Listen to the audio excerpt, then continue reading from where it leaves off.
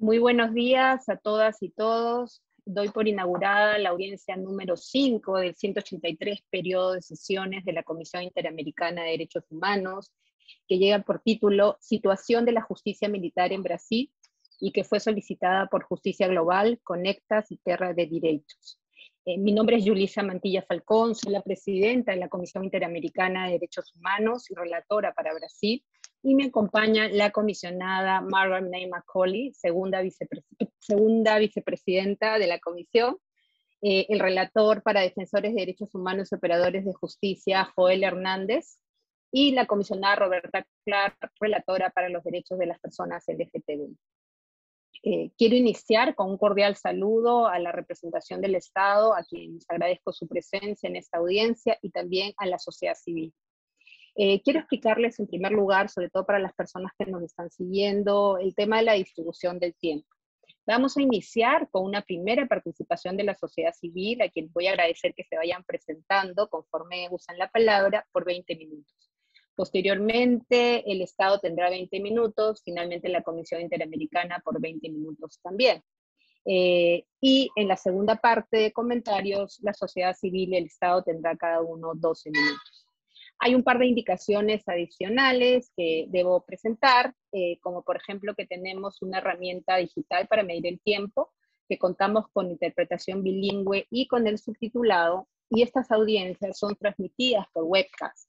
Y la grabación de las mismas queda a disposición en el canal YouTube de la CIDH, en el idioma original de la audiencia y en inglés. Dicho lo cual, le doy la palabra entonces a la sociedad civil para su primera presentación. Adelante.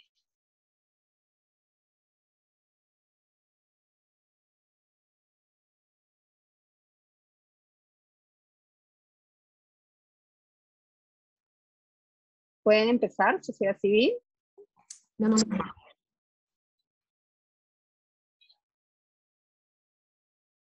Olá, eh, bom dia a todos e todas, me ouvem? Maravilha. Bom dia, senhoras e senhores, comissárias e comissários dessa Comissão Interamericana de Direitos Humanos, representantes do governo e todas as outras pessoas que nos acompanham. Meu nome é Roberta Marina, faço parte da Conectas Direitos Humanos, solicitante dessa audiência em parceria com o Instituto de Defesa do Direito de Defesa, o Instituto de Direitos Humanos da International Bar Association, o IBARI, a Justiça Global e a Terra de Direitos, organizações atuantes na defesa dos direitos humanos. Agradecemos imensamente essa comissão, na pessoa da comissária presidenta, a senhora Julissa Mantilha, pela oportunidade de expor nossas preocupações com a, atuação, com a atual situação da justiça militar no Brasil. Para tanto, convidamos os senhores Cláudio Oliveira, advogado do Movimento Sem Terra do MST, Daniel Sarmento, advogado e professor da Universidade Estadual do Rio de Janeiro, Tiago Amparo, advogado e professor na Fundação Getúlio Vargas, em São Paulo, e Vitor Santiago, militante morador da favela da Maré, no Rio de Janeiro, que farão suas contribuições nos minutos seguintes. Em seguida, as organizações apresentarão os pontos resolutivos. Assim, eu passo a palavra para o senhor Daniel Sarmento. Professor?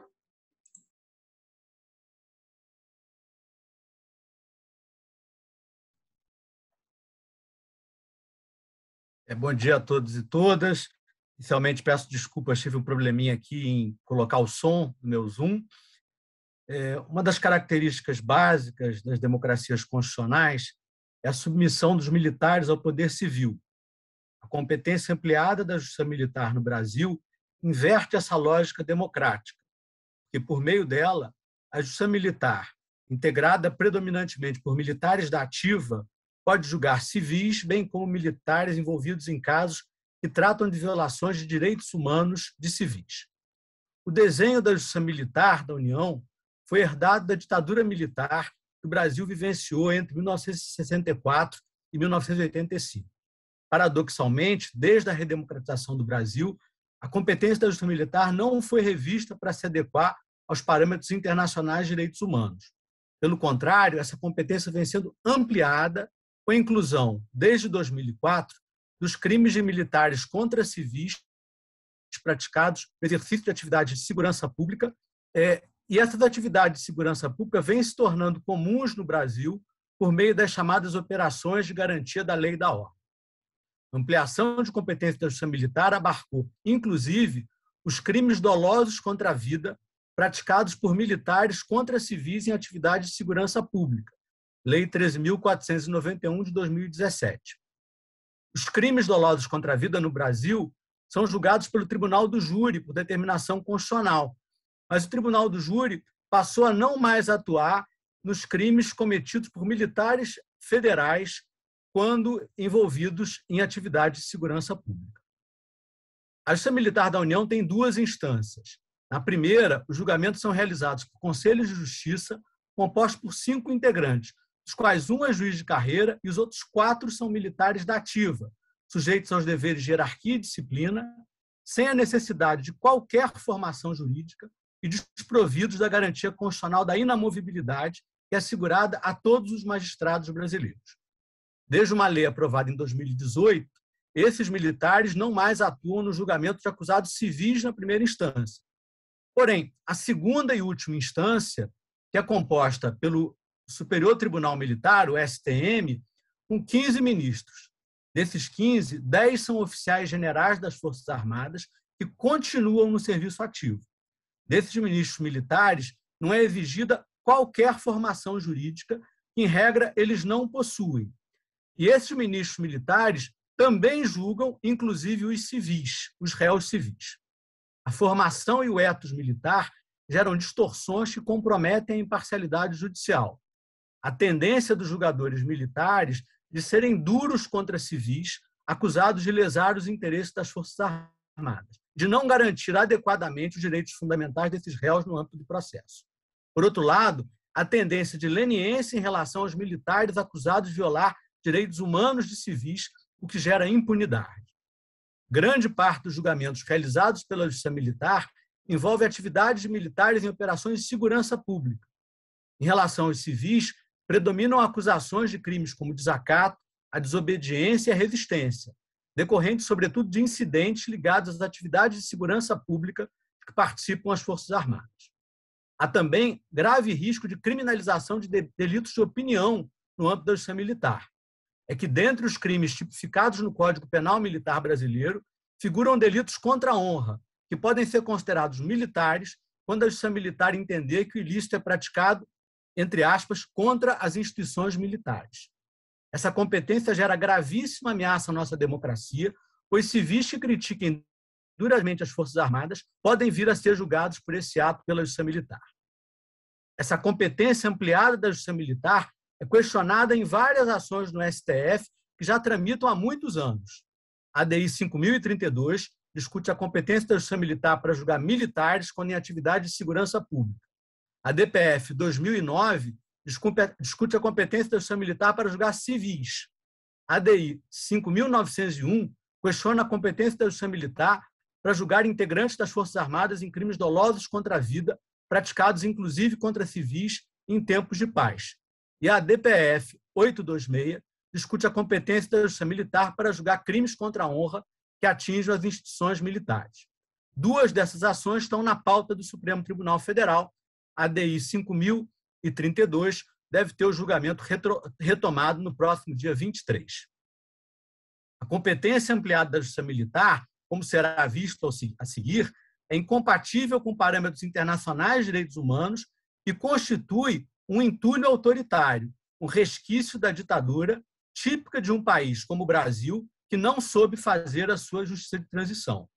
Na atualidade, ela representa não só a violação de direitos humanos, como também uma ameaça à democracia brasileira, hoje já tão fragilizada. É, eu passo a palavra agora ao professor Tiago Amparo. Muito obrigado. Olá, uh, boa tarde a todos, bom dia a todos e todas, é, prezados comissionados, é um prazer uh, enorme uh, estar aqui. Focarei na minha fala em como a justiça militar no Brasil viola parâmetros internacionais, em particular os parâmetros interamericanos.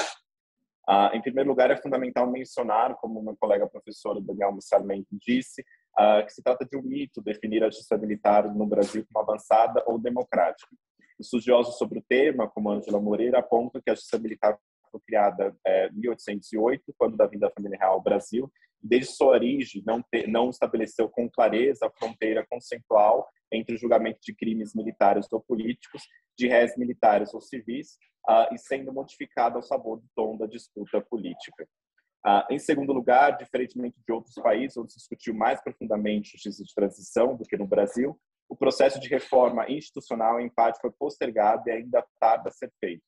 Quando olhamos quem julga, o que se julga e quem é julgado, as, as três principais questões de justiça militar, percebemos o legado autoritário da justiça militar, com militares da ativa julgando, crimes que envolvam ofensas às Forças Armadas e civis sendo julgados pela justiça militar. Processos como o da Argentina, que submeteu a, a justiça militar à justiça comum, não foram feitos no Brasil e estão longe de serem feitos. Em terceiro lugar, a justiça militar no Brasil viola parâmetros internacionais, especialmente parâmetros interamericanos do direito de acesso à justiça decorre que os tribunais, incluindo os tribunais militares, sejam independentes e imparciais. E segundo o sistema interamericano, independência inclui tanto a dimensão institucional, ou seja, o grau de independência que tem o poder judiciário enquanto sistema, no que respeita aos poderes do governo, e no, no aspecto de dimensão funcional ou exercício individual das funções judiciais, é necessário que os operadores da justiça tenham garantias de independência que lhe permitam exercer livremente as suas funções. E para que seja um tribunal considerado imparcial, ele deve, deve ser e parecer isento. No caso da Justiça Militar do Brasil, uh, não cumpre esses requisitos. Em primeiro lugar, no ponto 1, um, investigadores militares brasileiros não são competentes para investigar violações de direitos humanos a Corte Interamericana considerou que os tribunais militares não têm jurisdição para investigar supostos autores de violações de direitos humanos. E aqui estamos falando do Brasil, um país que mata em, em torno de 6 mil pessoas pela polícia. Estamos falando de um Brasil onde há uma militarização do sistema de segurança pública e, portanto, uma franca expansão da, da, das fronteiras eh, da justiça militar e, portanto, uma, uma, uma frustração, uma investigação independente de violações de direitos humanos. Um, por exemplo, no caso contra o México, Pacheco versus México, a, a, Corte declarou que, tendo em conta a natureza do crime os direitos legais violados, o sistema de justiça militar não é a jurisdição, jurisdição competente para investigar e, se for o caso, processar e punir os autores de violações de direitos humanos. A Corte também, no caso Favela Nova Brasília versus Brasil, é, é disse que a independência e imparcialidade dos órgãos responsáveis pelas investigações exigem que esses órgãos não tenham qualquer relação institucional ou hierárquica com as partes nas alegações. Uh, também o Tribunal Europeu, a Corte Europeia de Direitos Humanos, também em outros casos, como o Reino Unido, estabeleceu a obrigação de investigação independente e sem ligação hierárquica. Segundo ponto, juízes que são membros ativos das Forças Armadas eh, na justiça militar uh, envolve, portanto, uma violação da imparcialidade. Organismos internacionais, regionais têm questionado a imparcialidade dos tribunais militares, já que os tribunais são compostos por militares da ativa, mesmo os casos tribunais também incluem juízes uh, civis. Uh, isso tem uma vasta jurisprudência, tanto no sistema interamericano, quanto no sistema europeu, quanto no sistema africano uh, de direitos humanos. Além disso, ponto 3, o sistema judicial militar brasileiro não tem não deveria ter jurisdição sobre as mortes intencionais civis por militares, porque os tribunais militares não deveriam ter jurisdição, é, deveriam ter jurisdição limitada, excepcional, que não inclui julgamento de violações é, de direitos humanos. Além disso, as normas internacionais e regionais em matéria de direitos humanos limitam o âmbito da justiça militar a crimes de fato de natureza puramente militar cometidos por, um, ah, por militares e a, e a expansão das, da militarização das forças de segurança no Brasil uh, e a expansão dos limites da, da justiça militar violam essa determinação.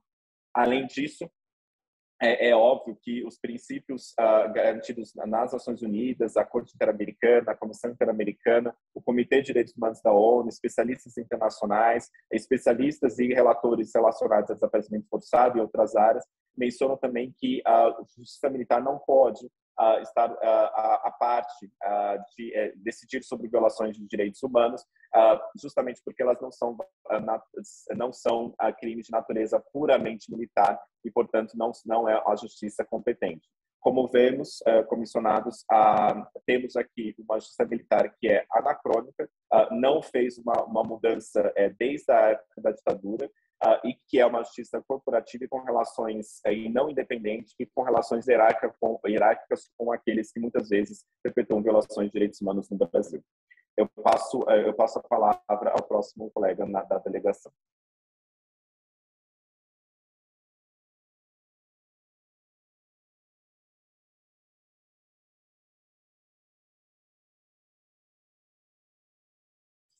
Senhor Vitor, por favor. Bom dia, eu sou Vitor Santiago Borges. Obrigado pela oportunidade de, de, estar falando aqui. E eu sou vítima desse, desse descaso, dessa violência absurda e gratuita por parte dos militares. Em 2015, eu, eu fui dois disparos aqui no Rio de Janeiro, próximo à minha casa, onde eu fiquei paraplégico, eu tive uma lesão medular e tive a perna esquerda amputada. É, muita coisa aconteceu é, durante esse período, é, do, do, depois do que aconteceu comigo. Eu lembro exatamente tudo o que aconteceu, eu lembro de, de, não estar no lugar errado e não estar na hora errada. É, eu estava ali no meu, meu cotidiano normal e a gente, eu estava no carro com meus amigos, a gente foi é, abordado por soldados na, durante a ocupação de 2014/2015 no complexo da Maré. A gente foi revistado, fomos liberados por um grupo de soldados. 15 minutos depois, outro grupo de soldados, outro, outra, outra patrulha abriu fogo contra o carro. E aí, onde eu fui alvejado, o motorista do carro levou um tiro de raspão também. É, fiquei 98 dias internado no hospital, é, passei por uma série de cirurgias, é, fisioterapia respiratória, motora, é, e eu tive a lesão medular e tal. 98 dias internado e na esperança de que a justiça fosse feita o mais rápido possível e que as coisas fossem acontecer é, é, em prol a minha vida, né? E que o mais importante para mim é que não aconteça, que não acontecesse com, com, com outras pessoas, né? Com, com o próximo, com o morador, com o parente. Ou... É, e nada aconteceu. Em 2017, foi 2017 o julgamento, né? 2018. 18. O cabo que atirou em mim, é, ele foi inocentado perante a justiça militar, que para mim mostra um, um, um enorme corporativismo, que é militar julgando militar, é, são coisas que têm acontecido bastante aqui no Brasil, principalmente no Rio de Janeiro, sobre militar faz, militar julga, militar inocenta, passa a cabeça e fica por isso mesmo. É, eu já falo e já venho falando durante muito tempo sobre o que aconteceu comigo, é, na intenção de que realmente não aconteça com o próximo, que essas coisas parem de acontecer, que nós negros, pobres, favelados, é, que, que, que, deixamos de ser assassinados, de ter nossas nossas nossas vidas violadas e que esse tipo de problema não não ocorra mais, não aconteça. E mais uma vez agradecer a oportunidade e o quanto eu puder falar até o fim da minha vida.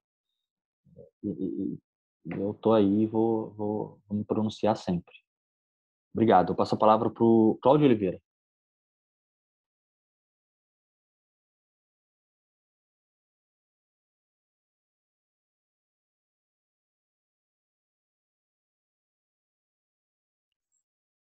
Cláudio, o áudio.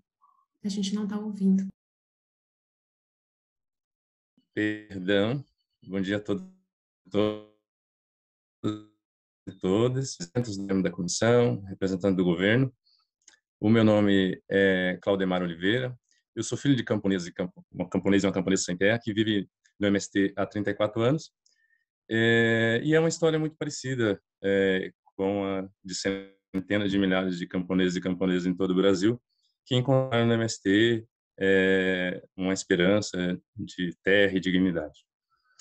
Historicamente, as forças militares brasileiras foram usadas para cometer e assegurar violência e impunidade no campo. É, os povos indígenas, os negros, foram os primeiros a essa injustiça, seja pela escravização, seja pela segregação da terra e do território, ou o sufocamento e violência das mobilizações populares, que é um no Estado brasileiro, com lugares para cometer e para acobertar as barbáries cometidas. São exemplos como de Canudos, Quilômetros dos Pares e contestados, históricos e, e que muito ensinam. Este tem sido o papel da justiça militar em todo o Brasil desde a sua fundação, assegurar a impunidade cometida por agentes militares a mando do Estado brasileiro contra o seu próprio povo, quase sempre em defesa de interesses privados e estranhos, como a histórica grilagem de terras no país ou a atual invasão ilegal de garimpeiros em terras indígenas. É, na história recente, o inesquecível massacre de Eldorado dos Carajás é um nítido exemplo de como no Brasil as forças militares são usadas contra o povo para, em seguida, acionar a justiça militar e garantir a impunidade. Um caso flagrante de incompetência da justiça militar, pois apesar de se tratar de crimes cometidos contra civis, essas instituições fez tudo o que pôde e talvez em parte tenha tido êxito em assegurar a impunidade. Em 2016, a história se repetia no município de Quedas do Iguaçu, no Paraná. Policiais militares efetuaram mais de 130 disparos de arma de fogo, inclusive com fuzil, contra camponeses e camponesas sem terra que estavam dentro de um imóvel reconhecidamente público e, na ocasião, os PMs atuaram acompanhados de dois milicianos privados ligados à empresa Arapel Celulose que tinha interesse é, em ocupar a, aquele imóvel público de forma irregular. Em 93, o trabalhador rural Diniz Bento da Silva, conhecido como Teixeirinha, foi executado friamente, diante de testemunhas, enquanto se entregava à justiça. Um crime que permanece impune. Nesse episódio, enquanto a Justiça Militar decretou a prisão preventiva de todos os homens maiores de 18 anos que viviam em uma campanha de sem terras, os policiais militares que assassinaram Teixeirinha mal amargaram o desgosto de responder a um inquérito policial militar que prontamente foi arquivado como auto de resistência, o que é comum nas histórias como essa que o Vitor acaba de contar. Em ações de despejo de camponeses sem terras, diversos crimes são cometidos pelos agentes de estados, muitas vezes é, mais violentos que operações contra o crime organizado. Tortura física, psicológica, importunação sexual, lesão corporal, ameaça, dano, racismo, injúria racial e tantos outros. Despejos forçados sem apoio de órgãos de assistência social, o uso de aeronaves não tripuladas ou tripuladas, espionagem e planos de despejos que estão realizados agora, que estão feitos agora esses planos, que tratam apenas do uso da força e que sugere que a PM faça a sua ação com quatro policiais para cada membro da comunidade, não importa se seja homem, se seja mulher, se seja uma criança, um idoso, um adolescente, uma pessoa com deficiência, o plano prevê quatro militares para combater uma única pessoa. Atualmente, estimamos que 100 mil famílias vivem nos acampamentos ameaçados de despejo em todo o Brasil.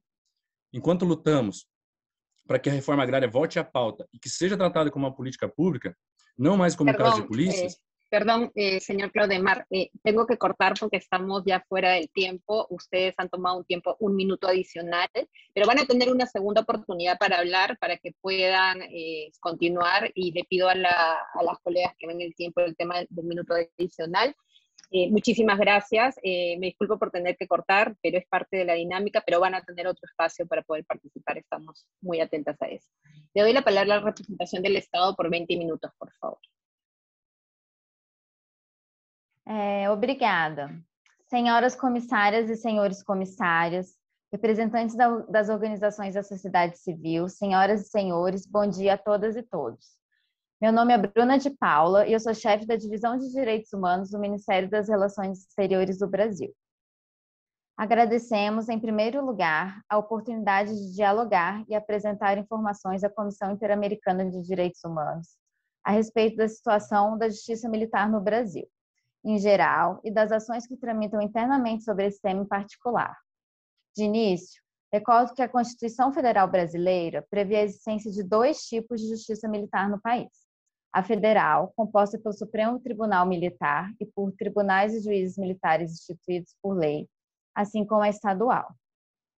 O Supremo Tribunal Militar, instituição que data de 1808, é composto por 15 ministros vitalícios, dos quais três são oficiais generais da Marinha, quatro são oficiais generais do Exército, três são oficiais generais da Aeronáutica, do posto mais elevado da carreira, e outros cinco são civis. O objetivo de se ter um tribunal formado por militares e civis é aliar a experiência dos comandantes que atingiram o ápice das carreiras com o inegável conhecimento jurídico dos ministros civis. Entre os ministros civis, há um advindo da magistratura, um do Ministério Público Militar e três da advocacia. Os dispositivos que regem a justiça militar no Brasil, conforme se demonstrará, estão em consonância com os tratados de direitos humanos ratificados pelo país, incluindo-se a Convenção Americana sobre os Direitos Humanos, uma vez que o que esse instrumento determina é que a decisão seja prolatada por juízo competente, previamente estabelecido por lei, independente e imparcial, o que se verifica no Brasil. Além disso, recordo que o Comitê de Direitos Humanos das Nações Unidas, em seu comentário geral número 13, assentou que as cortes militares poderão julgar civis, se forem asseguradas todas as garantias previstas no Pacto Internacional sobre Direitos Civis e Políticos, o que novamente se verifica no Brasil. Assim, o Brasil, a despeito da ampliação da competência da Justiça Militar, que passou de fato a julgar homicídio doloso praticado por militar contra civil, não se verificam incompatibilidades com os tratados internacionais de direitos humanos, pois aqui os órgãos julgadores encontram previsão constitucional, fazem parte do Poder Judiciário e possuem, em sua composição, ao menos um juiz togado. Esses pontos serão detalhados na sequência pelo Procurador-Geral da Justiça Militar, Antônio Pereira Duarte, que tratará da situação fática da Justiça Militar no Brasil, pelo advogado da União Boni Soares, que abordará as ações que tramitam perante o Supremo Tribunal Federal a esse respeito, e pelo secretário nacional adjunto de Proteção Global do Ministério da Mulher, da Família e dos Direitos Humanos, Eduardo Miranda, que tratará da proteção dos direitos humanos e a institucionalidade democrática nesse contexto. Obrigada e passo a palavra. Muito bom dia a todos e a todas, senhoras e senhores comissários, demais partícipes deste evento importante da Comissão Interamericana de Direitos Humanos. Constitui uma honra para o Ministério Público Militar contribuir com as reflexões desta comissão. Coube ao Ministério Público Militar, enquanto ator do sistema de justiça penal militar brasileiro, trazer alguns esclarecimentos sobre a alegação de indevida ampliação da competência da justiça militar, contrariando, na visão de requerentes, preceitos da Carta Constitucional e obrigações internacionais assumidas pelo Estado brasileiro, assim como apresentar considerações a respeito das particularidades da justiça militar brasileira. A primeira previsão questionada, referente ao parágrafo 7 do artigo 15 da Lei Complementar 97 de 1999, segundo o qual compete à Justiça Militar o julgamento dos crimes cometidos no exercício de missões de garantia da lei e da ordem e das atribuições subsidiárias das Forças Armadas, é consequência evidentemente natural da definição pelo constituinte originário de tais missões à Marinha, ao Exército e à Aeronáutica já que não se concebe o pleno desempenho de qualquer atividade pelas forças militares sem a devida proteção a bens e interesses que lhes sejam afetos e sem a solução das lides penais por um órgão que conheça as peculiaridades que cercam a atividade castrense. Não por outro motivo, na ação declaratória de inconstitucionalidade 5032, em trâmite no Supremo Tribunal Federal Brasileiro, a Procuradoria-Geral da República, apesar de autora da demanda, acabou por requerer posteriormente a improcedência da ação, já havendo voto do ministro relator neste mesmo sentido. O segundo ato impugnado é a Lei 13.491 de 2017, que ampliou o conceito de crime militar para abarcar também os crimes previstos na, na legislação comum e que restituiu à Justiça Militar da União a competência para julgar crimes dolosos contra a vida de civis cometidos por militares das Forças Armadas no contexto das ações descritas nos incisos 1 a 3 do parágrafo 2 do artigo 9 do Código Penal Militar. Quanto à primeira modificação, importa esclarecer que a alteração promovida equivale à previsão de novos tipos penais no Código Penal Militar, ampliando o rol de crimes militares, os quais somente terão essa natureza se houver adequação típica indireta a alguma das hipóteses elencadas nas alíneas do inciso 2 do artigo 9 deste diploma legal. Logo, diante da necessidade de adequação de qualquer crime previsto na legislação pátria às hipóteses do artigo 9 do Código Penal Militar para atração da competência da Justiça Militar, não há, repita-se, ampliação irrestrita ou abusiva de tal jurisdição. Raciocinar de forma diversa resultaria na conclusão ilógica de que o Código Penal Militar elenca rol exaustível e imutável de delitos militares e estaria, portanto, fadado ao descompasso com a realidade atual, lembrando que o direito é dinâmico por si mesmo. Já com relação à segunda modificação, o que a Lei 13.491 de 2017 fez foi simplesmente restituir à Justiça Militar da União o julgamento dos crimes dolosos contra a vida de civis, quando ocorrido no contexto de ações militares constitucionalmente delegadas às Forças Armadas, uma vez que é esse o ramo do Poder Judiciário pátrio com expertise para julgar causas em que as particularidades da vida militar devem sempre ser levadas em consideração. Tanto que, com fundamento naquela lei, a Justiça Militar da União julgou e condenou oito militares apenas entre 28 e 31 anos de reclusão por dois homicídios consumados e um tentado, no caso conhecido como Guadalupe, ocorrido no Rio de Janeiro. Argumentou-se também que a justiça militar seria corporativa e que seus magistrados não seriam dotados de imparcialidade e independência, relacionando-se esses temas ao julgamento de civis pela Justiça Militar da União, tema objeto da ação de descumprimento de preceito fundamental 289.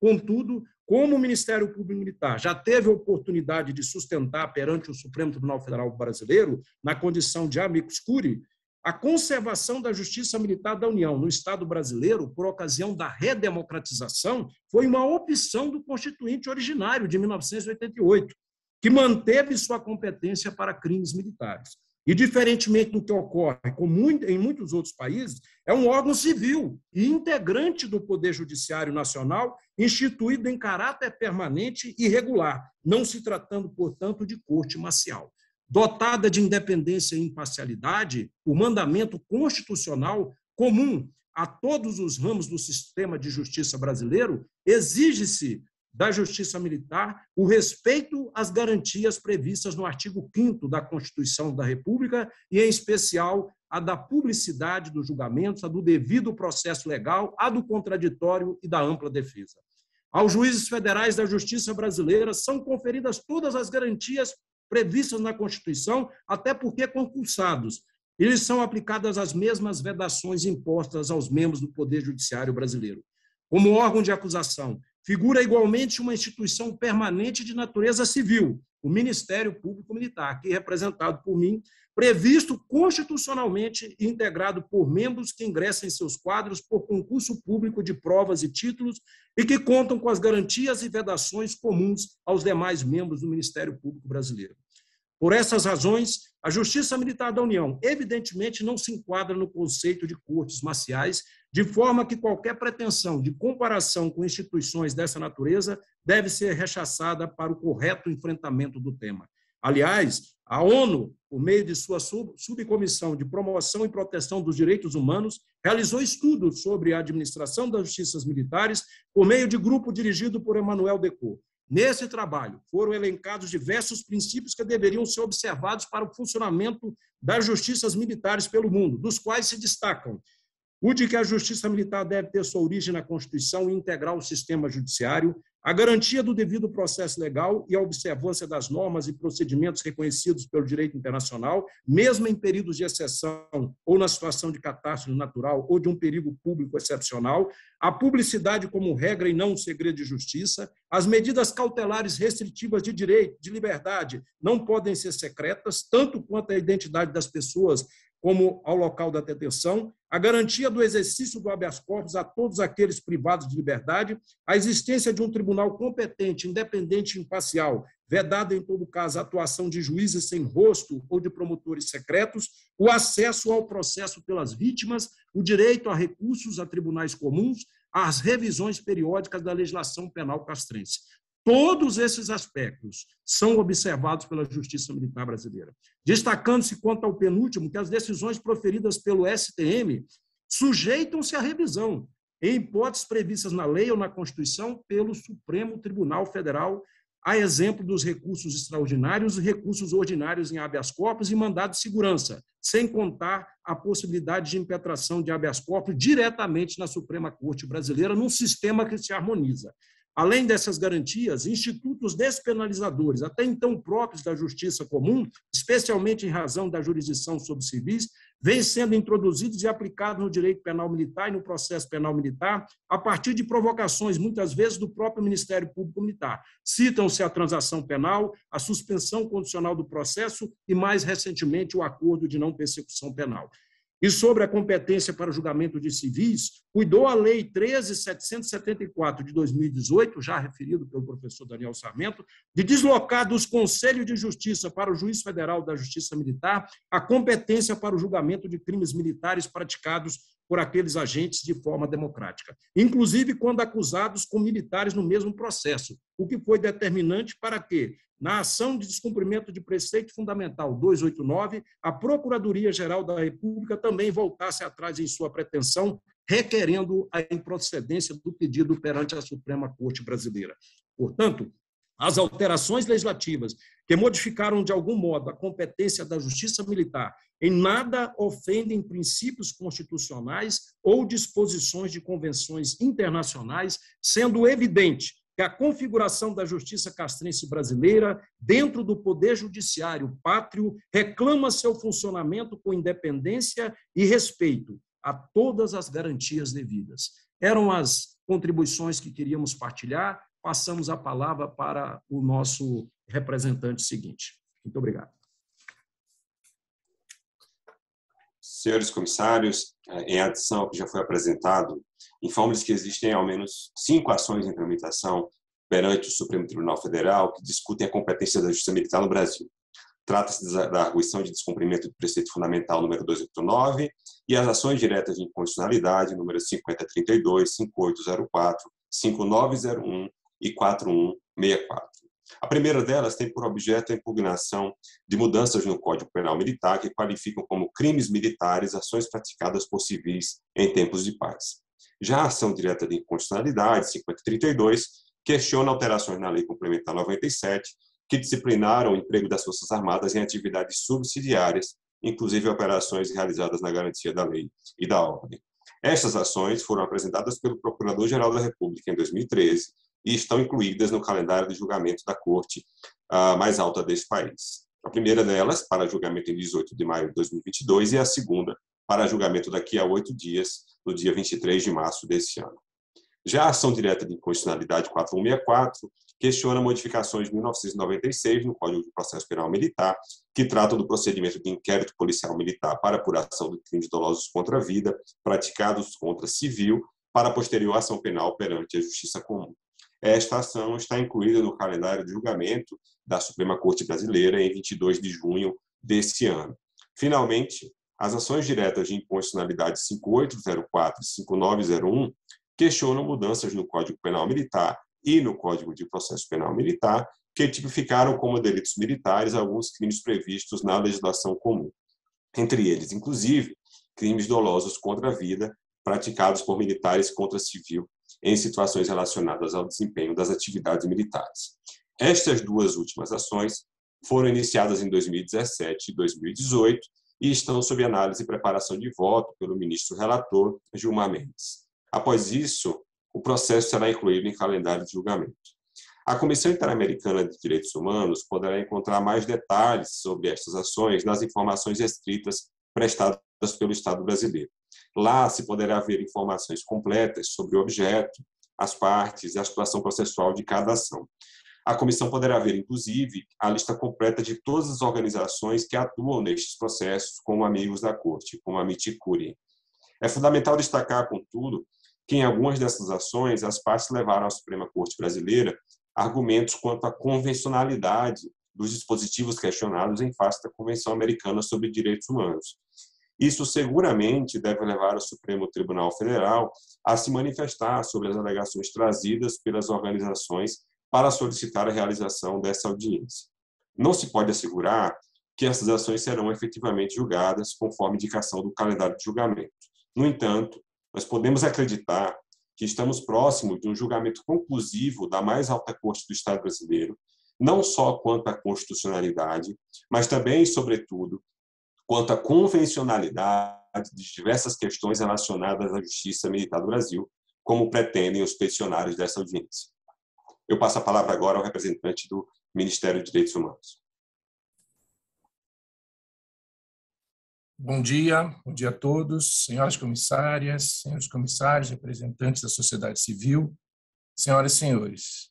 As competências da Justiça Militar no Brasil estão previstas na Constituição Federal de 88, a qual surgiu do clamor popular, sendo a primeira do país a contar com emendas de cidadãos comuns e entidades representativas, além dos 559 parlamentares que trabalhavam que trabalharam de forma intensa por 20 meses na Assembleia Nacional Constituinte, convocada em 85, razão pela qual ficou conhecida como Constituição Cidadã, a referida Justiça Militar está pautada em regras que garantem seu funcionamento como órgão judicial a serviço do interesse público, contribuindo inclusive no que se refere à proteção dos direitos humanos, quando, por exemplo, julga crimes definidos em lei, respeitando o devido processo legal, competência, juízo, juízo imparcial e natural, bem como a ampla defesa e contraditório de acordo com o sistema acusatório democrático.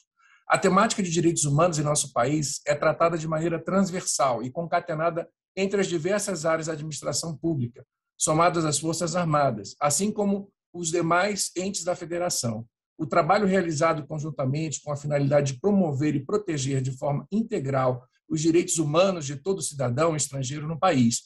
Um exemplo recente desse esforço é a criação do Sistema Integrado de Direitos Humanos, que busca unir todas as instituições em âmbito federal, estadual e municipal, permitindo respostas mais rápidas e eficazes às violações de direitos humanos. O foco é sempre assegurar direitos humanos para todos. Com isso, pessoas saem da invisibilidade e os sistemas e políticas de repressão contra agressores são fortalecidos. No Estado brasileiro, as Forças Armadas, além de contribuir para a garantia da lei e da ordem, tradicionalmente também atuam em ações humanitárias que impactam positivamente vários públicos em situação de vulnerabilidade. Dentre várias, merece destacar a Operação Acolhida, uma grande força-tarefa humanitária de assistência emergencial aos migrantes e refugiados venezuelanos, comandado pelas Forças Armadas em funcionamento desde junho de 2018, que conta com a atuação integrada de diversos órgãos do governo federal, dos demais entes da Federação de Organismos Internacionais, da sociedade civil e de entidades privadas, todos trabalhando com total sinergia. O compromisso do Estado brasileiro com a institucionalidade democrática dos direitos humanos também se mostrou mais latente com a criação do Programa Nacional de Educação Continuada em Direitos Humanos, lançado em 2018, o qual consiste em um conjunto de recursos gratuitos e certificados por uma escola de governo. O Programa Nacional de Educação Continuada em Direitos Humanos é voltado à sensibilização e formação em direitos humanos para o fortalecimento da cultura e da educação nessa temática.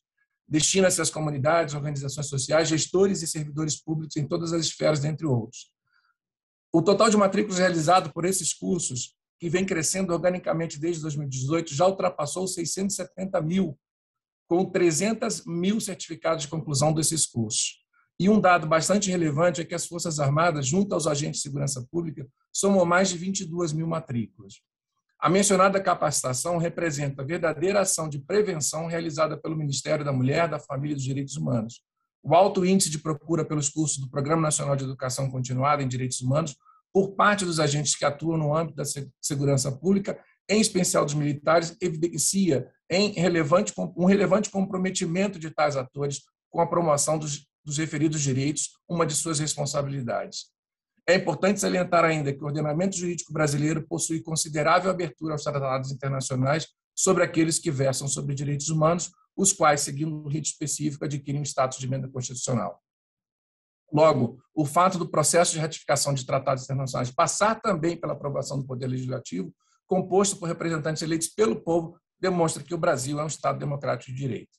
Portanto, não restam dúvidas de que o Brasil está fortemente embasado, dentre outros princípios, na dignidade da pessoa humana, amplamente observada por suas instituições governamentais, todas com suas competências muito bem delineadas na Constituição, que prevê, inclusive, a atuação da Justiça Militar em plena harmonia com o ordenamento jurídico brasileiro. Outro sim, o Brasil apoia de maneira ampla as operações de enfrentamento às violações de direitos humanos cometidas por militares e agentes de segurança pública e prover sua formação e capacitação de direitos humanos, demonstrando verdadeiro interesse e respeito aos direitos humanos. Obrigado. Muchas gracias. Muchas gracias. Eh, pasamos también un minuto más del tiempo, así que también se toma la cuenta para la segunda parte. Eh, vamos a iniciar ahora la participación de la Comisión Interamericana. En primer lugar, le voy a preguntar a la comisionada Margaret McCauley, eh, relatora para los derechos de las personas afrodescendientes y segunda vicepresidenta, si tiene alguna pregunta, comisionada. Thank you, thank you very much, Madam President. Um, may I bid a very good morning to everyone, the civil society and the representatives of the state of Brazil. I thank both of you, of you civil society and the representative of the state for the facts uh, uh, statements you've made to us uh, to enlarge our knowledge. Um, in relation, to, I asked the rapporteur of Afro-descendant rights and, and against racism, and the rapporteur of um, the um, rights of the elderly. I am very concerned in the, my both rapporteurships as to the effect of the what the Commission and the Court uh, have considered for years the encroachment of military justice into the realm of um, civilian administration of justice in, in Brazil, particularly, and also several other countries um, because it doesn't only happen in Brazil, um, which is unfortunate. Um, I, I, certainly was um, a member of the court when pronouncements were made uh, against this practice in, in various states in, um, in cases that came before it.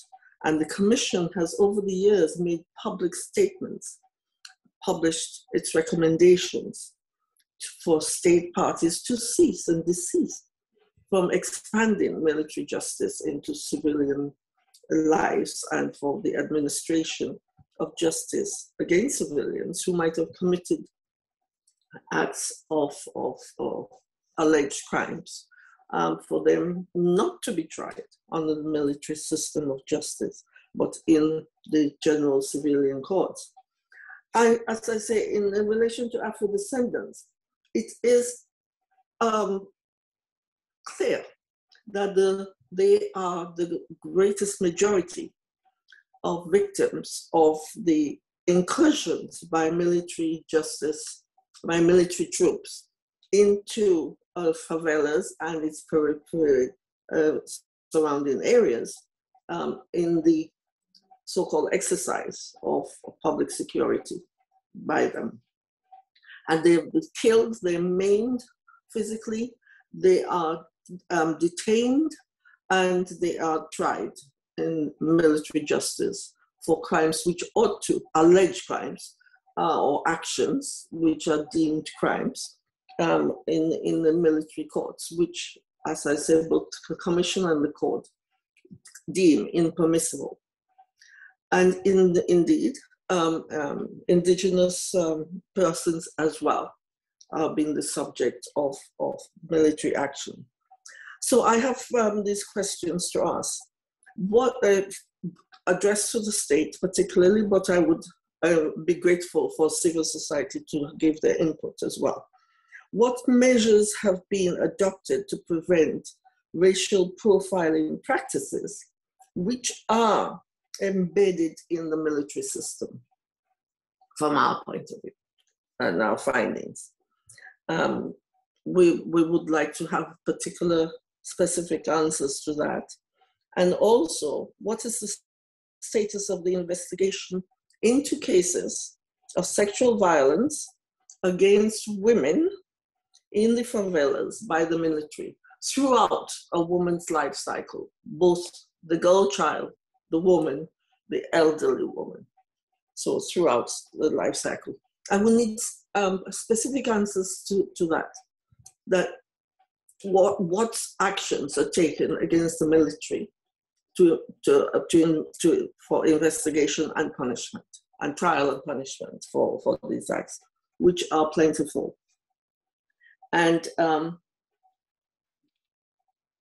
yes, and, and what, what, what will, could you, if you cannot answer these questions today, um, please give us some answers in writing so that we can have specific um, um, um, information about them. It's very, very important for us to have the age, race, ethnicity, uh, and, and status of the victims of military justice, uh, military action, I beg your pardon, military action within the areas where Afro descendants and um, indigenous people peoples reside.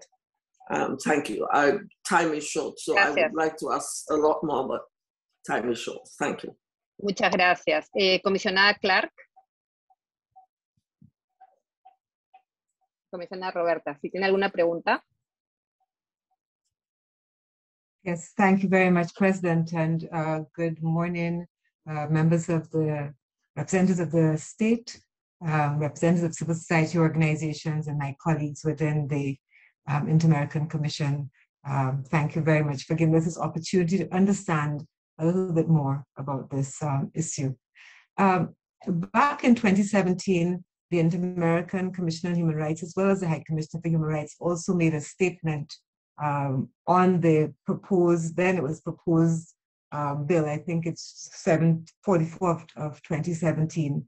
And back in 2017, the both organizations agreed that the military courts are not the proper jurisdiction um, to investigate and, where applicable, prosecute and punish alleged perpetrators of human rights violations. In, in both cases of the institutions, they spoke to the need for independence of the judiciary and all the elements of that independence, and they cast doubt on whether or not military uh, tribunals could meet that high standard of independence. Uh, my, my question is, having regard to what I've heard this morning, um, I guess I want to find out what measures have been taken to secure the independence of the judiciary. And we understand within the Commission that one of the central elements of independence is security of tenure, irremovability. So I would like to ask uh, representative of the state what measures have been taken to secure independence of the judiciary in that regard. Secondly, what measures have been taken to guarantee the impartiality of these military uh, tribunals or military courts? As I understand it, um, across the, the, the justice cycle from laying of the charges to prosecution of the charges and to the adjudication of the charges, all three of these elements are managed by the military in the context of this military justice which seems to raise the issue of securing impartiality. So I would like to find out in the scheme of that that that that that obtains within the military courts, what are the measures to guarantee that impartiality? And thirdly, in relation to the elements of independence of the judiciary, that of competence, what measures, particularly where you have a tribunal comprised of persons across a range of backgrounds, but not necessarily with legal competence, what measures have been taken to assure um, competence to hear and adjudicate fairly and in accordance with due process um, cases before the, the, the, military courts. And then fourthly, I believe that uh, Mr. Suarez might have spoken about it, but I'm not quite sure I understood. Has the Constitutional Court of Brazil adjudicated on the constitutionality of the Law 44 of, of, of 2017? I would like to hear a little bit more about that and or in relation to the five cases that are pending, what at what state are those cases? And finally, what is the oversight on these military courts? Are the judgments appealable before the Supreme Court? Thank you very much. Eh, Muchas gracias, comisionada. Eh, como relatora de Brasil y relatora de las mujeres, también voy a hacer algunas preguntas. En primer lugar, eh, agradeciendo nuevamente la presencia, efectivamente el Estado nos ha referido varias veces que este procedimiento de justicia militar está establecido en su constitución. Yo solo quería recordar el artículo 2 de la Convención Americana de Derechos Humanos, que establece que los Estados partes de la Convención tienen la obligación, se obligan a adoptar y adaptar cualquier medida interna que implique eh, necesaria para el cumplimiento de sus obligaciones. Ya hemos mencionado, y estoy segura que el Estado eh, y también la sociedad civil conocen mucha de la jurisprudencia de la Corte. Yo solamente quiero eh, recordar algunas de las sentencias, la sentencia Rodríguez Vera, donde la Corte expresamente establece que la jurisdicción militar no es el fuero competente para investigar y en su caso juzgar y sancionar a los autores de alegadas vulneraciones de derechos humanos, sino que el procesamiento de los responsables corresponde siempre a la justicia ordinaria. Y esto que dice la Corte en este caso lo ha repetido en muchísimos casos, una jurisprudencia copiosa. Eso como punto de partida. Ahora bien, en esta línea y en lo, mismo, eh, en lo mismo sentido de, mis colegas sobre el tema de la imparcialidad, eh, yo tenía una pregunta muy concreta para el tema, para, el Estado, por favor, y tiene que ver no solamente con los criterios que se han establecido, sino si se ha hecho algún tipo de evaluación sobre el tema de estereotipos de género, porque la Corte Interamericana ya ha establecido que aquellos juzgadores eh, jugadores, jugadoras que tengan estereotipos de género, que puedan eh, expresarlo en sus, en sus juzgamientos, afectan también el tema de la imparcialidad, lo ha hecho la Corte Interamericana y también la relatora para la independencia judicial. Entonces, quería saber en esa línea cómo se mide esta situación de los estereotipos de género en las personas que son parte de la justicia militar. En ese mismo sentido, quería también preguntar si aquellas personas eh, que son parte, jugadores, jugadores de la justicia militar, si es una evaluación o revisión de antecedentes, si es que hay alguno, alguna persona que, que incurre en situaciones de violencia de género, si es excluida de la administración de justicia militar. En este sentido, también un poco en la línea de lo que el señor Melo mencionaba sobre la formación y capacitación, también quería saber eh, cómo, cuáles son los programas de capacitación en enfoque de género y sobre todo en investigación de violencia sexual. ¿Cómo se forma aquellas personas que van a administrar justicia y cuáles son los criterios de evaluación para este tema?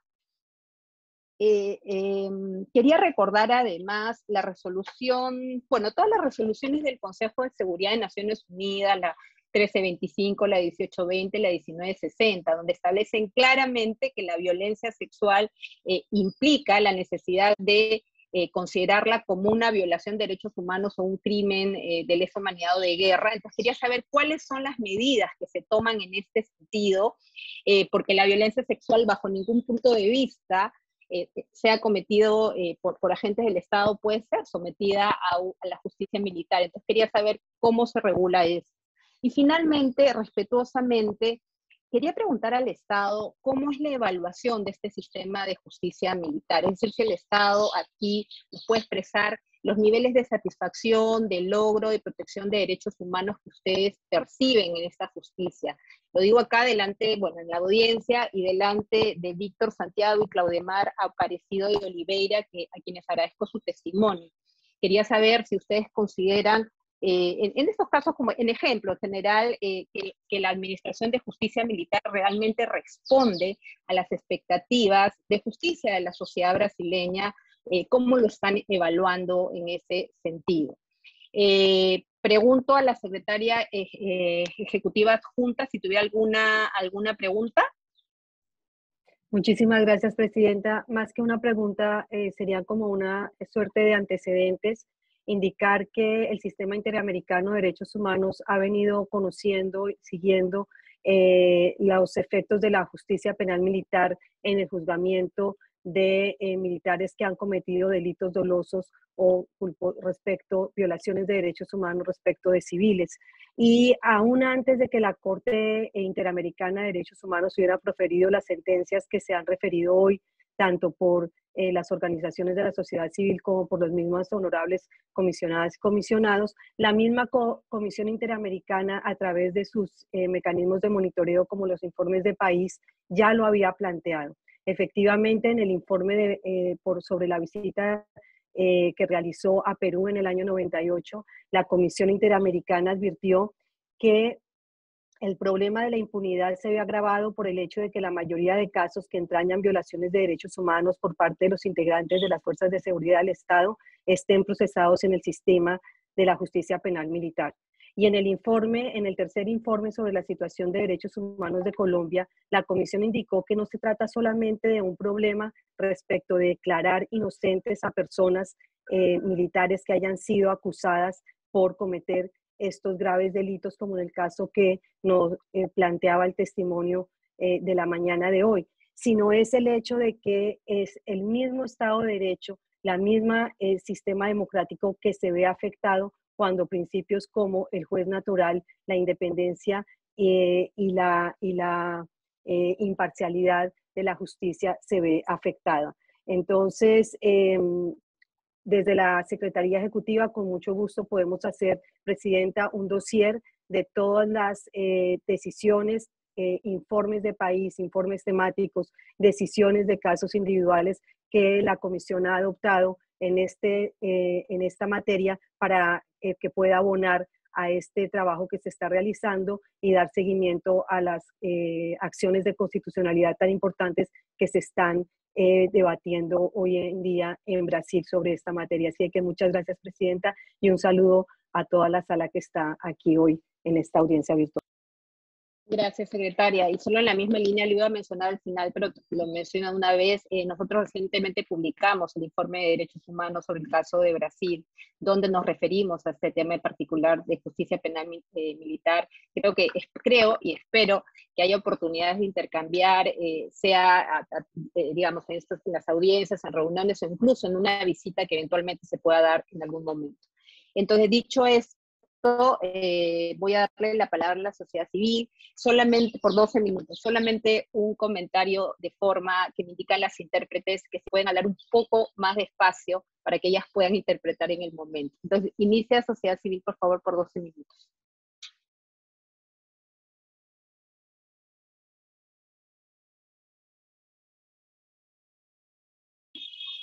Sociedad civil.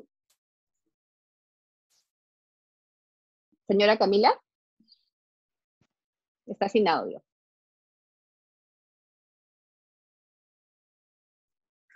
Bom dia. Pronto, agora. É... Agradecendo novamente a oportunidade, eu gostaria de, de aproveitar esse momento. Olá, de... obrigada pela palavra. É, nós da sociedade civil vamos passar a palavra então para Gabriel Sampaio, advogado da Conectas, para fazer alguns apontamentos, logo em seguida, Camila, e fazemos os encaminhamentos finais, então, tudo bem? Desculpe, acho que a Camila já tinha começado, pode, pode continuar, Camila, eu posso falar na sequência, desculpe. É, bem, é, renovando os agradecimentos pela concessão da audiência, eu gostaria de aproveitar essa, essa devolutiva da palavra para fazer algumas ponderações. É, inicialmente, dizer que nós é, esperávamos ouvir algumas, alguns acenos positivos do Estado no sentido de alguma adequação em relação aos parâmetros interamericanos no que diz respeito a no que diz respeito à jurisdição militar. Isso porque a, o descompasso entre como a jurisdição militar está organizada no Brasil e os parâmetros interamericanos extremamente consolidados por uma copiosa jurisprudência, né, como foi mencionado pelas comissárias, é um, é um fato. Né? Isso está dado, é, é evidente. E, bem, do que foi colocado pelo Estado, gostaria de fazer algumas, algumas considerações. É, inicialmente, é importante dizer que a competência da justiça militar no Brasil não está prevista na Constituição. A Constituição faz remissão à lei.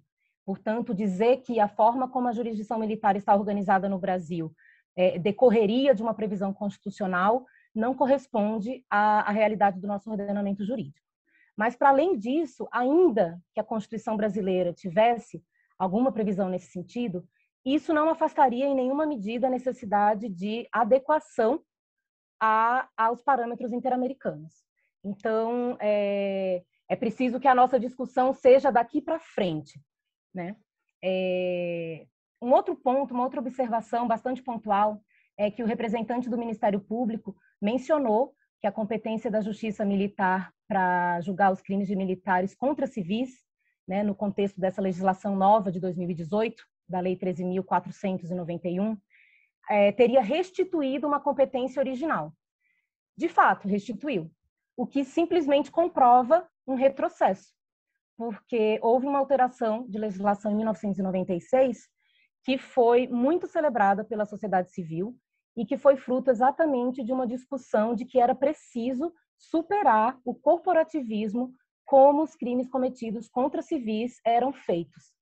E é, há um resgate, meu colega Gabriel vai poder falar um pouco mais sobre isso, mas essa referência de restituição é, é, a uma competência originária é, é um exemplo cabal de retrocesso. O Brasil vinha, avançou em algum momento, mas já há algum tempo tem caminhado na direção oposta.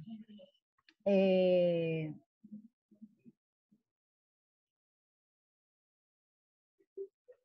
Bem, sobre a questão da violência contra, contra as mulheres, nós temos, no contexto de, de atuação de agentes estatais, enfim, de forças armadas, de policiais militares, há uma vasta gama de informações a respeito e as entidades da sociedade civil se comprometem a reunir e a compilar essas informações para apresentar na nossa manifestação por escrito. É, e é importante dizer que a violência contra mulheres cometida por agentes é, militares acontece tanto no contexto urbano quanto no campo. O colega Cláudio fez também referência a isso, de que nas ações de despejo é muito comum que isso aconteça. É, mais uma menção a, ao que foi colocado sobre a formação dos militares, é importante que se diga que há uma preocupação muito grande em relação a isso, porque do que a gente acompanha dos casos em trâmite no sistema interamericano, essa é uma recomendação frequente, mas as respostas do Estado a isso costumam ser genéricas e flagrantemente ineficazes. Do contrário, nós não estaríamos no cenário que nós estamos hoje. E, para finalizar, antes de passar a palavra para o meu colega, eu gostaria de dizer que, é, considerando que esse parâmetro interamericano é, é tão consolidado, né, é, a comissão poderia pensar por que a sociedade civil está fazendo esse pedido nesse momento, né, de voltar a discutir a situação da justiça militar no Brasil. É porque as, é, é, nós pretendemos que, assim como foi feito durante a tramitação desse projeto legislativo, em que diversos organismos internacionais dialoguem e apresentem para o Estado brasileiro, né? Naquela oportunidade foi feito em relação a, ao poder legislativo. Apresente essa vasta jurisprudência, né? Apresente o, o, essa experiência de tantos países a partir da qual foram consolidados esses parâmetros para assentar que as violações a direitos humanos não podem ser julgadas na jurisdição militar, né? É, isso foi feito no momento da tramitação legislativa, mas infelizmente não resultou, não foi frutífero. Tanto que nós estamos agora no momento em que essa legislação já está aprovada, já está surtindo efeitos negativos, e nós estamos num outro momento em que está se discutindo a constitucionalidade dessa legislação. E nós temos a esperança de que seja possível fazer um diálogo da mesma forma como foi feito naquela oportunidade, mas dessa vez com o Supremo Tribunal Federal, é, possivelmente a partir da apresentação dessa grande compilação que foi mencionada pela secretária executiva é, dessas decisões, para, quem sabe, é, jogar um pouco de luz nessa discussão que está sendo feita agora no Supremo. Nós gostaríamos de ir para o debate no Supremo com muita tranquilidade, mas nós não estamos tranquilos, e é isso que justifica esse pedido de audiência. Eu passo a palavra para o meu colega Gabriel. Muito obrigada. Muito bom dia a todas as pessoas que nos acompanham, na pessoa da presidenta desta audiência, cumprimento todas as demais. Quero agradecer por todas as palavras, todas as intervenções anteriores e gostaria apenas de ressaltar dois pontos. O primeiro é, diz respeito ao fato de que ser parte do Poder Judiciário Nacional não tira os problemas que estão sendo levantados em relação à justiça militar. Por todo o exemplo que já foi, por todo, apenas para exemplificar, podemos dizer que a composição do Superior Tribunal Militar conta com uma única mulher na atual composição em sua história. isso é representativo de outros debates que estão sendo feitos aqui, sem contar que a sua composição continua sendo majoritariamente composta por militares das Forças Armadas. As, é, pessoas que não fazem parte das Forças Armadas ocupam apenas 5 das 15 vagas do Superior Tribunal Militar, que é o órgão máximo da Justiça Militar da União. De reforçar ainda que quando, quando se tratou aqui da revogação da Lei 9, 9296 de 1996, restituindo competência à Justiça Militar para julgamento de civis nos casos de operações de garantia da lei e da ordem, há que se registrar aqui o retrocesso praticado contra um avanço da sociedade civil, como bem já salientou aqui a minha colega Camila. A alteração legislativa de 1996, revogada pela nova legislação, foi uma resposta a uma CPI que averigou a participação de membros de Polícia Militar em execuções. Foi uma CPI que contou com absoluta participação da sociedade civil e atendeu a um reclamo da sociedade civil e de vítimas de violência. Especialmente essa alteração conta com um vício na sua natureza legislativa, um projeto de lei que tinha duração temporária para atender a um período de grandes eventos realizados no Brasil, teve esse, esse dispositivo revogado no momento da sanção e do veto. Ou seja, a sociedade civil foi excluída do debate legislativo em que essa alteração uh, foi feita, excluída a sua participação, bem como a conquista que por ela foi feita. Portanto, é um motivo de ainda maior preocupação que essa alteração legislativa seja trazida aqui como uma mera restituição da competência da justiça militar. Foi aplicada uma derrota, uma conquista civilizatória da sociedade civil e dos avanços legislativos promovidos por esse debate democrático no nosso país. Concluo apenas dizendo que as alterações legislativas e a ampliação da competência da justiça militar feita por lei ordinária caminhou em paralelo ao aumento do emprego das Forças Armadas, especialmente na atuação na garantia da lei e da ordem e na atuação na segurança pública. Isso não é saudável, especialmente porque os instrumentos de investigação e apuração do abuso e da violência institucional nessa seara não estão, são absolutamente incompatíveis com os avanços no sistema internacional de direitos humanos e, e também com os avanços requeridos em âmbito interno para que haja independência e tutela de direitos e garantias das vítimas de violência. Muito obrigado. Obrigada, Camila, Gabriel. Bom, diante de todo exposto, para encerrar, as organizações solicitantes, respeitosamente, chamam a atenção dessa comissão para a ampliação de competência da Justiça Militar no Brasil, especialmente nos últimos anos, mesmo após reiteradas manifestações expressas contrárias da Organização dos Estados Americanos e da Organização das Nações Unidas. Da mesma forma, chamamos a atenção do Estado brasileiro para seus compromissos assumidos voluntariamente perante a comunidade internacional para a importância de uma justiça de transição no contexto brasileiro, considerando, dentre outros fatos, a inversão do processo de militarização e uso das Forças Armadas na segurança pública, para diversas recomendações de órgãos nacionais e internacionais a respeito do tema e do controle de convencionalidade para aplicação de tratados internacionais, os quais o Brasil seja parte, e da jurisprudência dos tribunais aos quais se submeta também, especialmente aquela constante nas sentenças que o condenam.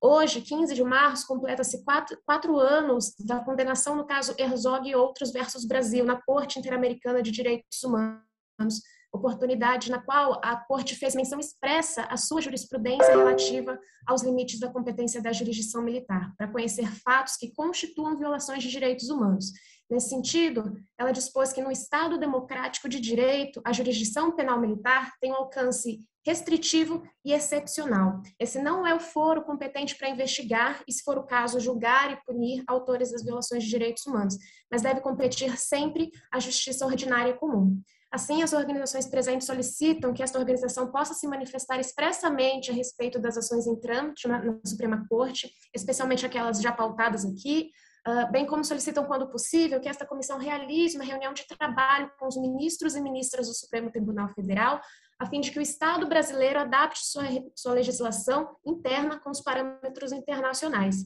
As organizações agradecem a oportunidade e se colocam à disposição para prestar informações Muchísimas gracias. Le doy la palabra al Estado. Igual que la, que la sociedad civil tenían 11 minutos, pero le hemos dado 12 considerando que teníamos un poco de tiempo, así que el Estado también tiene sus 12 minutos originales. Gracias. Adelante. Muitíssimo obrigado. Queria é, tentar responder muito rapidamente em bloco as pertinentes indagações das senhoras comissárias, ressaltando que sim, é possível a reanálise dos casos que tramitam pela Justiça Militar Brasileira. A Suprema Corte Brasileira pode, através de habeas corpus, através de recursos extraordinários, de mandado de segurança, rever todas as decisões. Também é importante ressaltar que há um sistema de controle todo estruturado na ordem constitucional brasileira que prevê, inclusive, a atuação do Conselho Nacional de Justiça, do Conselho Nacional do Ministério Público, que vem também construindo grandes e preciosos avanços, não só é, em relação ao direito das vítimas, mas também da violência praticada é, em matéria de gênero. Quero ressaltar que recentemente nós criamos a ouvidoria das mulheres no âmbito do Ministério Público Militar. Quero ressaltar que se no STM nós temos uma única magistrada neste momento isso se deve também ao fato de que o ingresso das mulheres nas Forças Armadas é questão relativamente recente, que remonta à década de 1990, e, portanto, com o passar dos tempos, certamente aquelas integrantes do sexo feminino que vão ascender aos cargos, aos, aos postos de generalato, do generalato, poderão também concorrer e integrar a Corte é, Superior Militar Brasileira.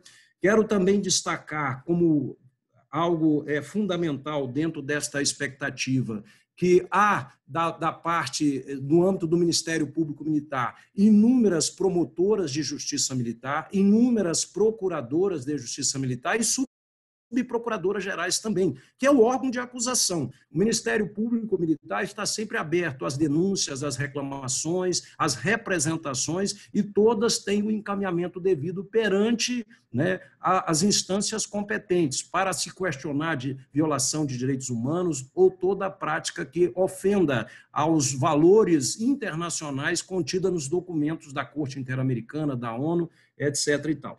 Queria também é, destacar que nós criamos aqui no âmbito do Ministério Público, a Secretaria de Direitos Humanos, Direito Humanitário e Relações Internacionais, que também está aberta para os, os, bons e importantes debates. Eu creio que estamos também construindo progressos importantes, porque o nosso sistema e a própria adoção de uma justiça militar não, não, não ocorreu do nada, foi fruto de um esforço constituinte, onde o Brasil soberanamente resolveu alterar sua ordem constitucional e discutir uma nova carta onde toda a população pôde opinar através de uma assembleia constituinte. A adoção de um modelo de justiça especializada em nada ofende né, a, a, a, a constelação dos princípios e valores que norteiam essa corte, exatamente porque ela integra o poder judiciário e é controlada pelos órgãos de instâncias superiores, como o Supremo Tribunal Federal. E, portanto, erros, é, equívocos que juízes possam cometer são perfeitamente passíveis de revisão, de reanálise, inclusive se houver desbordamento dos princípios deontológicos que regem a carreira, me refiro à imparcialidade, à independência, isso tudo poderá ser levado, inclusive, ao Conselho Nacional de Justiça.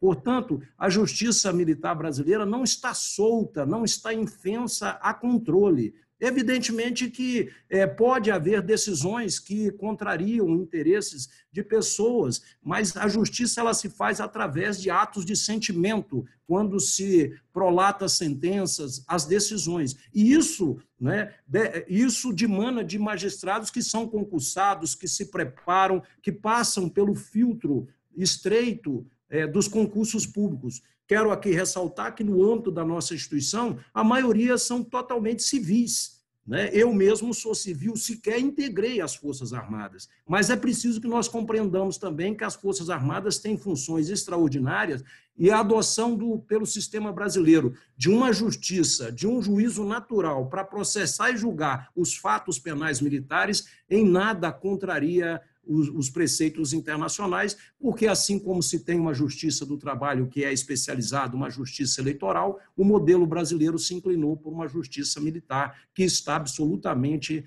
é, em consonância com o nosso sistema de justiça. Fico à disposição e agradeço a valiosa atenção. Passo para o outro representante para complementar. Bem, é, obrigado, senhor Procurador-Geral. E em relação às perguntas que foram endereçadas pela comissária Roberta Clark a respeito do Supremo Tribunal Federal e das ações em curso, em tramitação uh, naquele tribunal, creio que é importante destacar duas coisas. A primeira, sobre os debates uh, relacionados à alteração legislativa vinda em 2017 com a Lei 3491, é, esse, não há ainda uma uma decisão final da Suprema Corte sobre a constitucionalidade disso. As duas ações em que essa legislação é questionada, a ação direta de constitucionalidade 5804 e 5901, é, ambas questionam essa alteração legal, estão ainda pendentes de julgamento, e nesse julgamento nós esperamos que o Supremo Tribunal Federal fale ainda sobre a constitucionalidade mas também sobre a convencionalidade desses dispositivos, porque cabe reprisar a organizações que atuaram como requerentes dessas ações e outras organizações da sociedade civil, inclusive, que atuam como amigos, amigos curiae, questionaram a convencionalidade é, em face de precedentes da Corte Interamericana, como já foi colocado aqui também. Então, é de se esperar que o Supremo Tribunal Federal fale sobre esses dois aspectos, sobre a constitucionalidade e sobre a convencionalidade também dessa alteração legal. Esses é, dois procedimentos, como disse, estão sob relatoria do ministro do Supremo Tribunal Federal, Gilmar Mendes, e é esperado que, após a preparação de seu voto, o, esses processos sejam incluídos em calendário de, de julgamento. É, em relação a, ao sistema de recursos, de recursos perdão, o senhor Procurador-Geral explicou bem ah, que cabe, sim, em regra, recursos das decisões do Superior Tribunal, ah, Superior Tribunal Militar para a Suprema Corte do Brasil. Ah, os julgamentos da Suprema Corte Brasileira, por sua vez, não são recorríveis, com exceção de esclarecimentos relacionados à omissão no julgamento ou alguma obscuridade. Essas decisões são finais e isso é visto pelo Estado brasileiro como algo muito positivo no nosso caso concreto, porque essas ações judiciais que já se arrastam há alguns anos no Brasil, inclusive essas ah, sobre a lei de 2017, que são de 2017 e 2018, deverão ter um julgamento conclusivo. E com isso, é, é importante destacar, comissária, o Estado brasileiro terá uma palavra final sobre todos esses aspectos que são colocados aqui. É, o, o, Estado brasileiro tem ciência dos questionamentos, ele está, foi chamado por suas instâncias a apreciar esses questionamentos esses julgamentos devem acontecer, como disse, a partir do próximo dia 23 de março. Das seis ações eh, em tramitação, aliás, das cinco ações que mencionei em curso no Supremo, três devem ter julgamento ainda no primeiro semestre. Um em março, outro em maio e a última delas em junho. De maneira que, com isso, o Estado brasileiro poderá exercer a, a sua, a, o seu esgotamento de recursos quanto à apreciação das questões que foram trazidas aqui, inclusive a, a obediência do regime legal da, da justiça militar aos parâmetros interamericanos já tão comentados. Era basicamente isso. Eu agradeço. Obrigado.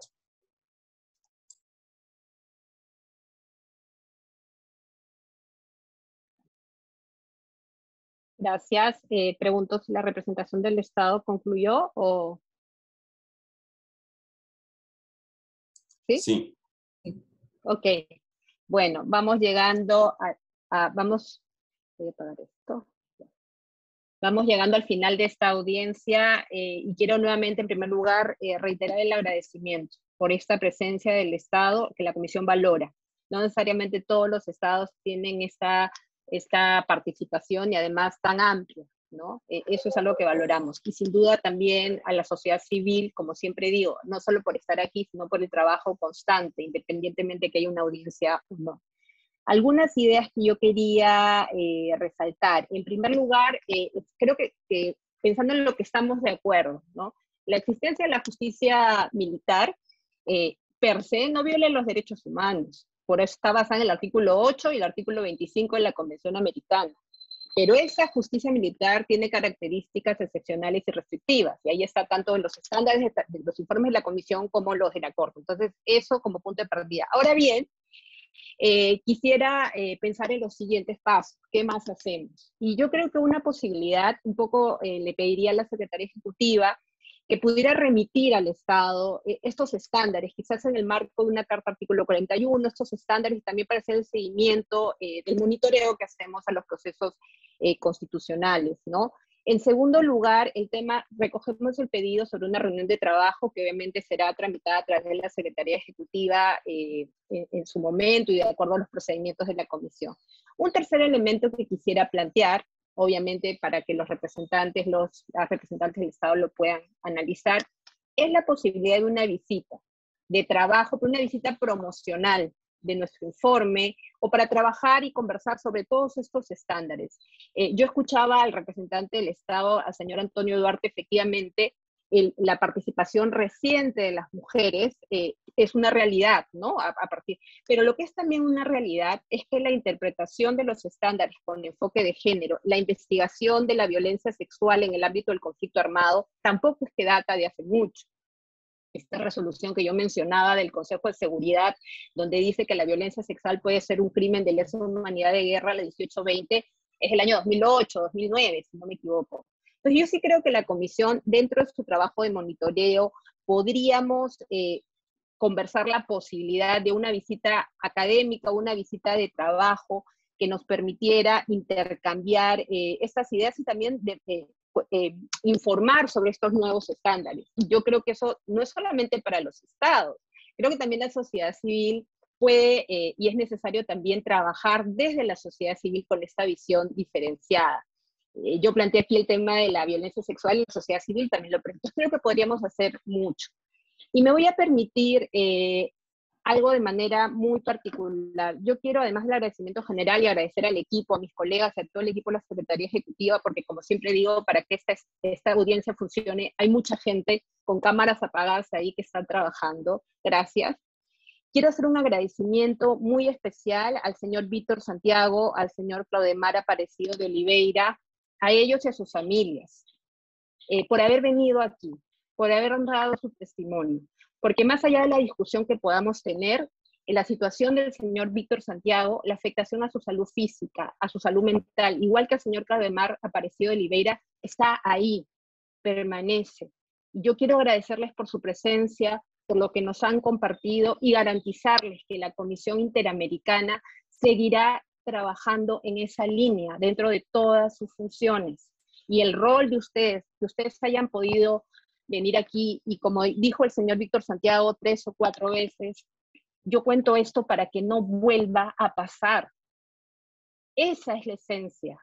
¿Cómo prevenimos? Porque lo que ya pasó ya sucedió y podemos buscar las políticas de reparación, de sanción y tenemos que hacerlo, los estados tienen que hacer. Pero ¿cómo prevenimos para que esto eh, no vuelva a suceder y en ese sentido, como presidenta de la Comisión Interamericana y como relatora para Brasil, que asumo a partir de este año, estamos en la disposición de trabajar con ustedes. Y voy a, voy a terminar con algo y me voy a disculpar por el acento, pero hice mi esfuerzo porque quería que nos pudiéramos entender, decirle que la Comisión Interamericana y ustedes, nosotros, solo tenemos un compromiso, o respeito pelos derechos humanos y a dignidad de todas las personas. Muito obrigado. Que tengan muy buen día. Muchísimas gracias. Declaro cerrada la audiencia. Hasta luego. Buen día. Buenos días, muchísimas gracias. Yeah, hasta luego.